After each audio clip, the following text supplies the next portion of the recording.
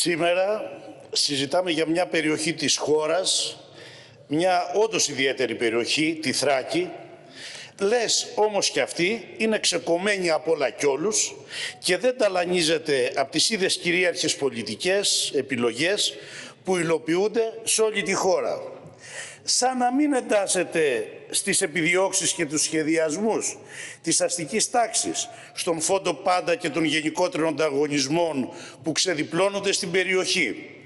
Η κυβέρνηση προωθεί ένα αφήγημα ότι τάχα η κακοδαιμονία που τσακίζει τους κατοίκους και αυτής της περιοχής αποτελεί μια ιδιαίτερη στρέβλωση στο υφιστάμενο μοντέλο ανάπτυξης.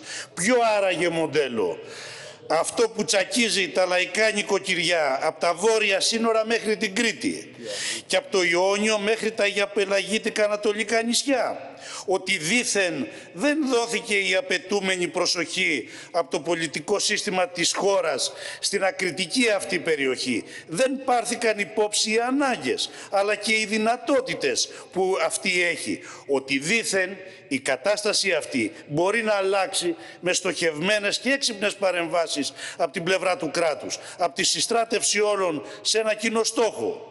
Και σε αυτή την περίπτωση προσπαθείτε ύπουλα να κάνετε διάχυση των τεράστιων ευθυνών όλων των μέχρι σήμερα κυβερνήσεων για την κατάσταση της Θράκης.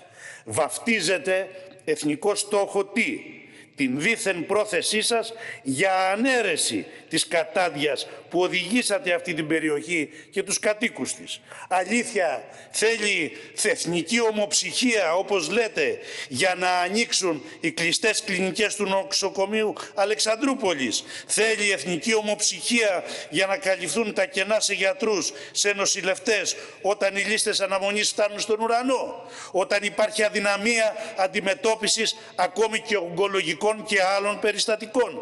Η ίδια τραγική κατάσταση στο νοσοκομείο Δημοτήχου, στα κέντρα υγείας Σουφλίου, Ορεστιάδας, Δικαίων, στα αγροτικά γιατρία. Τεράστιες οι ελλείψεις, κομωτινή, ξάνθη, η ίδια εικόνα. Και εσείς θέλετε εθνική ομοψυχία για να τα λύσετε, δήθεν, παραδίνοντάς τα στους ιδιώτες με τα ΣΔΙΤ απαράλλαχτη η εικόνα που επικρατεί σε όλη την Ελλάδα. Τίποτε το ιδιαίτερο για τη Θράκη. Τι να πεις τώρα για την πολιτική σας στα πανεπιστήμια της Θράκης; Ρωτήστε τους φοιτητές και τις οικογένειές τους. Κομωτινή έχει γύρω στους 7.000 ενεργούς φοιτητές. 100 ήταν αυτοί που κατάφεραν να πάρουν ένα δωμάτιο στις αιστείες. Ξάνθη, το Δημοκρίτιο διαθέτει περίπου 560 δωμάτια για 4.000 ενεργούς φοιτητές. Ορεστιάδα υπάρχουν μόνο 85 ε, δωμάτια. Ποιες είναι οι λύσεις που σχεδιάζετε για όλα αυτά; Μα να, τους, μα να τα δώσετε στους εργοδότες και συμφωνείτε στους ιδιώτες και συμφωνείτε όλοι με αυτή τη θέση. Οι στάσεις στο δρόμο του δικού σας μαύρου μέλλοντος είναι γνωστές. Υποχρηματοδότηση, στη συνέχεια εξαχρίωση, πρόσκληση στους δίθεν σωτήρες παύλα επιχειρηματίες, μετατροπή των υποχρεώσεων του κράτους σε πανάκριβο προϊόν προς πώληση, ασύλληπτες κερδοφορίες για τους ιδιώτες, φτωχοποίηση για το λαό. Αυτό είναι το οδηπορικό, το οποίο τάζεται. Αυτό είναι και το δίσοσμο όραμά σας για τη Θράκη. Και σαν να μην έφταναν όλα αυτά, στραγγαλίζεται μεθοδευμένα αυτή την περιοχή στις μιλόπετρες της γεωπολιτικής αναβάθμισης της αστικής τάξης της Ελλάδας. Αλήθεια, θεωρείται παράγοντα ανάπτυξης και προόδου τη μετατροπή της Αλεξανδρούπολης σε μια τεράστια επιθετική αμερικανοταϊκή βάση. Μια πλατφόρμα που ξερνάει απειλή και θάνατο για τους λαούς της περιοχής και όχι μόνο. Εντάξατε σε αυτή την πλατφόρμα το λιμάνι, το αεροδρόμιο και στρατόπεδα της πόλης. Διαθέσατε το οδικό και σιδηροδρομικό δίκτυο της Τράκης για την προώθηση των ατοικών στρατευμάτων στα ουκρανοπολωνικά σύνορα. Με Έλληνες στρατιωτικούς οδηγούς μπροστά μέχρι τα σύνορα, μην και καταλήξουν και σε καμιά λαϊκή ανάμεσα σε μπρόκολα και ραπανάκια. Χιλιάδες στρατιώτες βγαίνουν από τους καταπέλτες των πλοίων, εκατοντάδες άρματα και ελικόπτερα. Όλα αυτά γίνονται ταυτόχρονα με τη γιγάντια άσκηση Ινίουχος 22. Το μήνυμα δείχνει ακόμα και μια γενικευμένη πολεμική σύγκρουση. Το επίκεντρο μπορεί να είναι στην Ανδραβίδα αυτής της άσκησης. Όμως οι κάνες των πυροβόλων δείχνουν Ουκρανία.